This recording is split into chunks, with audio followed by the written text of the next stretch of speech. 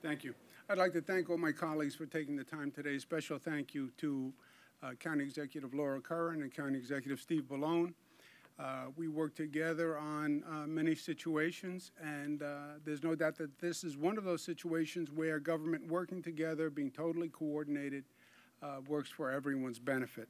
Uh, let me make some opening comments, and then you'll hear from the county executives. just on the current status of the situation, we had 11 cases as of yesterday. Uh, with the testing we did last night, we have an additional, additional 11, so we're at 22 cases.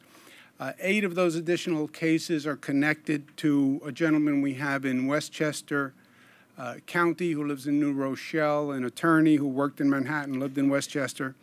Uh, and we have been following up on possible contacts that that attorney had. Uh, eight of the new cases are in connection with him uh, two people in New York City who are currently hospitalized, and one uh, in Long Island and a hospital in Nassau County. Uh, that uh, individual had uh, underlying medical conditions, which is one of the populations that is at greater risk for this virus.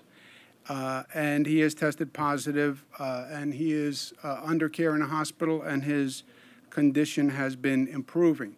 On the numbers, uh, the number of people we find with the virus is going to continue to go up.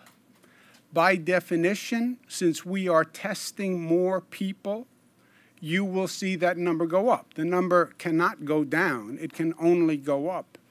Uh, and since many of these tests are being performed as a follow up to people who have tested positive, their family, people they've been in contact with, uh, the likelihood of finding positives is even higher, right? These are not random samples that we're doing.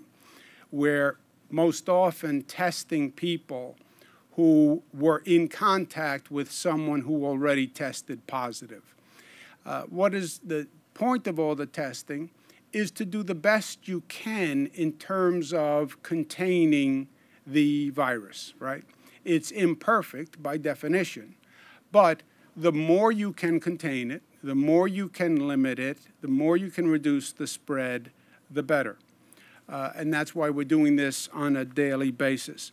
We're also increasing our testing capacity uh, because, again, the more you can test, the better.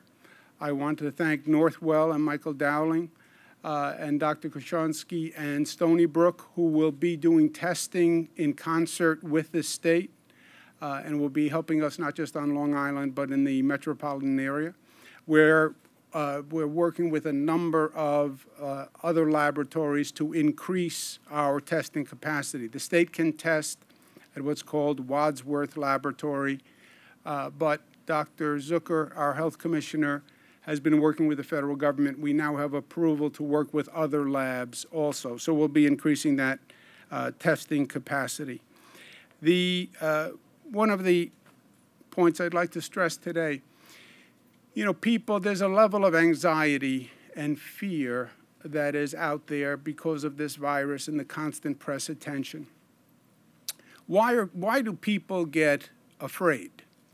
Uh, there's, there's always one of two reasons. You get afraid either because you think you are not getting the right information or you're confused by the information, or because the information itself is frightening. The information itself, the facts here, are not frightening. I think what's causing anxiety is that people are confused and they're getting conflicting messages.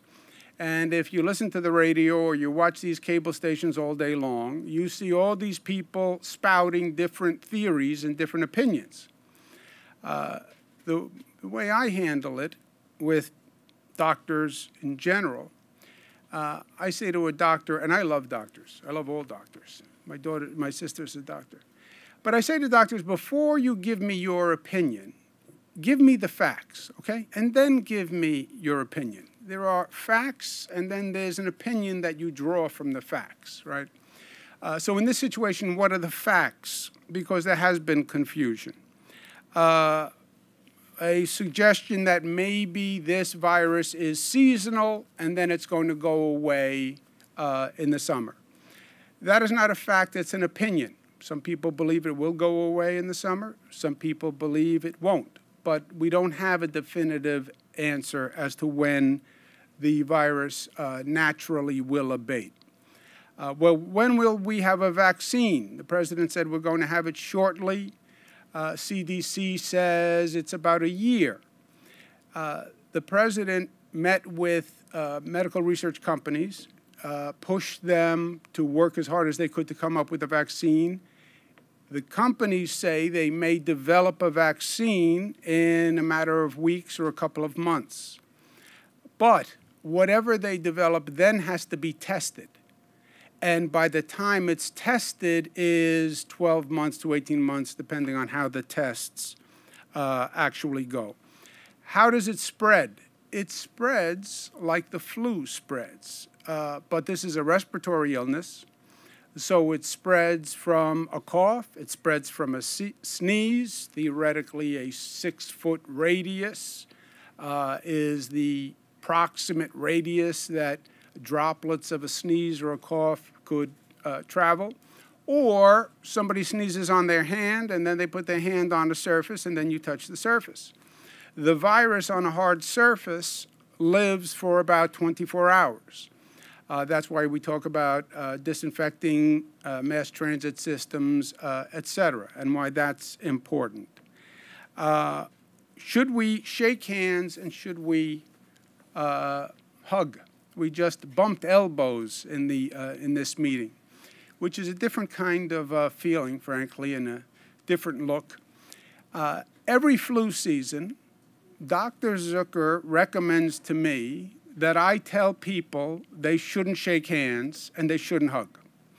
I have never followed his advice personally nor professionally, and I have never said to the public, oh, it's flu season, you should not shake hands and you should not hug. I have two issues with that. Uh, number one, I'm in elected office. I shake hands for a living. That's what I do.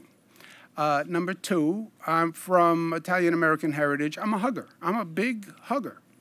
Uh, so, if as a matter of precaution, don't shake hands, don't hug. Uh, it's good advice in a normal flu season. It's good advice now during the coronavirus situation. Uh, well, the number of people tested and found positive keeps going up. Yes, it will, and it will continue to go up. I've said that from day one.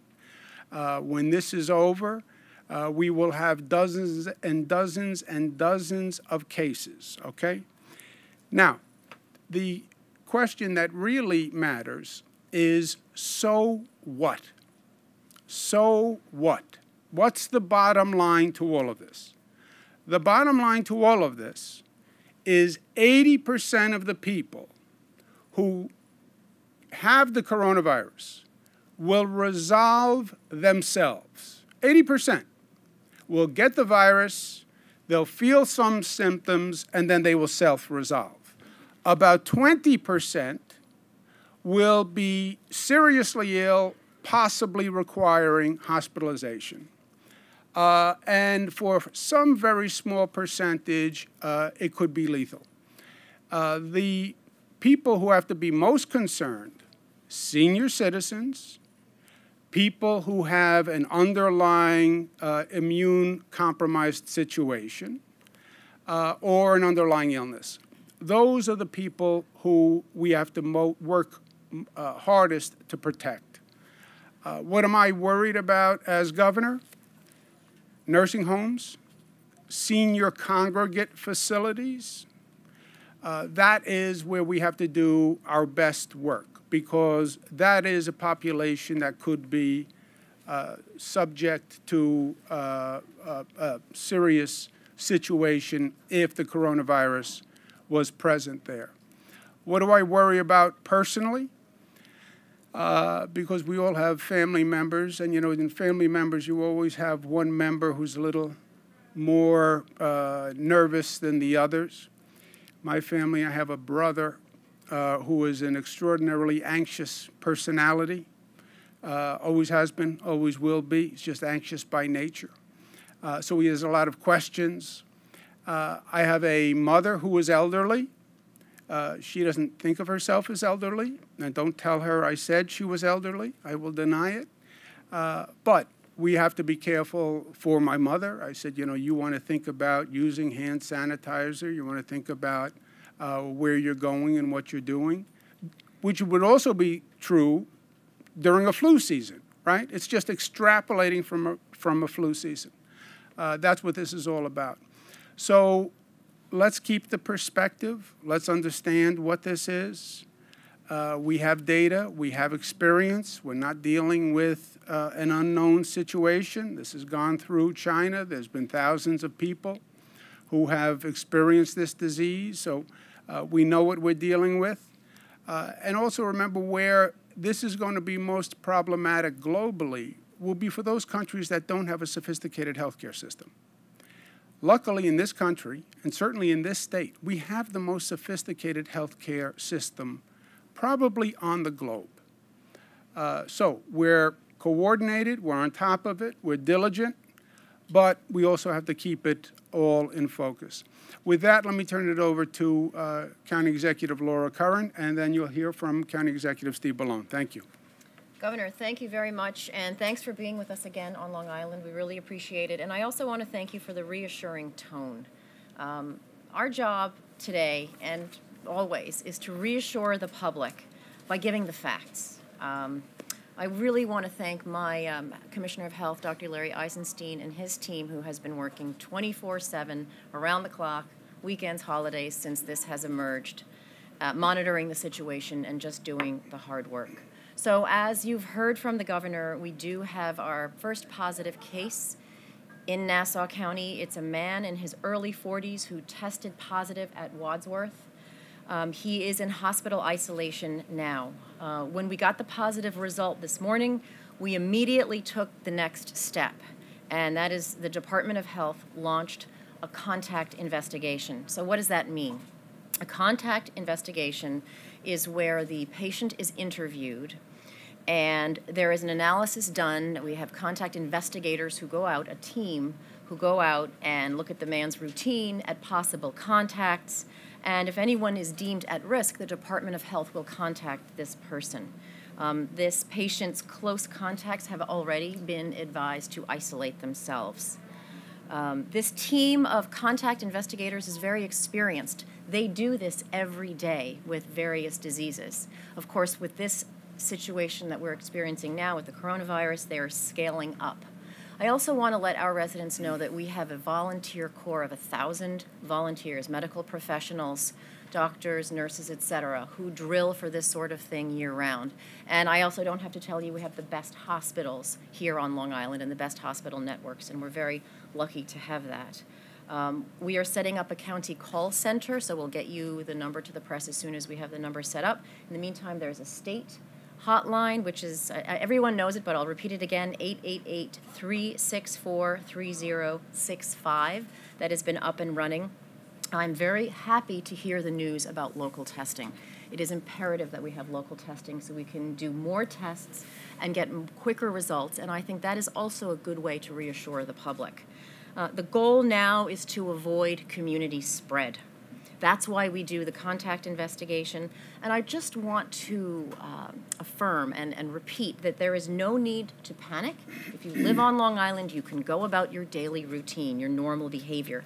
But please take care of yourself. Wash your hands. Do the elbow bump. That's what we do when we met each other. Usually, when I meet the governor, we have a little kiss on the cheek, a little handshake, but now we're doing this everywhere we go. Uh, so keep doing that. Um, I am also heartened by the emergency powers that the governor has uh, has now that we can get the help and the resources that we need to the county. So thank you again. Thank you, thank you, County Executive. County Executive Stephen Bellone. Thank you, Governor. It's uh, good to be here. Usually, when we're gathered at the uh, Long Island Welcome Center, there's a massive blizzard outside that, that's occurring. I'm not sure this is better. Um, but uh, I want to thank the governor for his leadership uh, on this issue um, once again. Uh, and of course, um, as County Executive Curran said, uh, his calming tone and, and reassurances to the public because I think that is the most important thing we need to do here. Uh, I can tell you that we have been in close coordination uh, with the state, with the state health department. I want to thank Dr. Zucker uh, and his team uh, from the very beginning uh, here. Um, our health commissioner, Dr. Pigott, and his team are doing an outstanding uh, job. Uh, we are currently monitoring um, a number of individuals, about 15. Um, there are three under investigation for uh, being tested, uh, essentially. Uh, right now, we do have we do not have a confirmed case in, in Suffolk County um, at this point, but obviously we understand, as the governor mentioned, the testing is happening. Uh, that is likely to happen at, at some point. And we want the public to know is obviously we are we are ready. We have been uh, working on this from the very beginning. There are a number of things we're we're doing. Uh, yesterday, we, uh, for example, we briefed uh, all of the superintendents, uh, our health department and our emergency management team uh, briefed uh, all of our school districts yesterday. Today, we conducted a tabletop exercise for all of our emergency management team, health team, in coordination with the state. Tomorrow, we'll be briefing East End fire chiefs and departments, conducting a briefing for the county legislature as well. Uh, so these are the things that, uh, types of things that we have been doing, we'll continue to do. I want to thank uh, all of our uh, health uh, leaders here that are convened uh, for the great work that they do each and every day.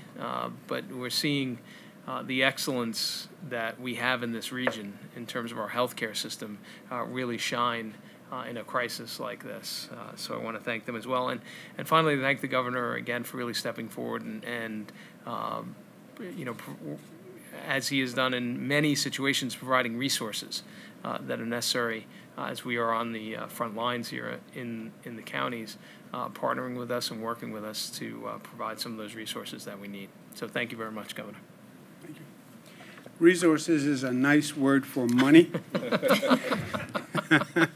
I understand. Uh, Thank you to all of our colleagues, uh, and thank you to the county executives, not just for, for uh, these comments, but for the partnership. And uh, we have an extraordinary partnership. And uh, Steve is right. We've been in this building many times dealing with emergencies, weather emergencies, uh, and the like, and we've we've handled them all well. Uh, it's just getting through it and getting through it with a minimum amount of pain, and that's what we have to do here once again.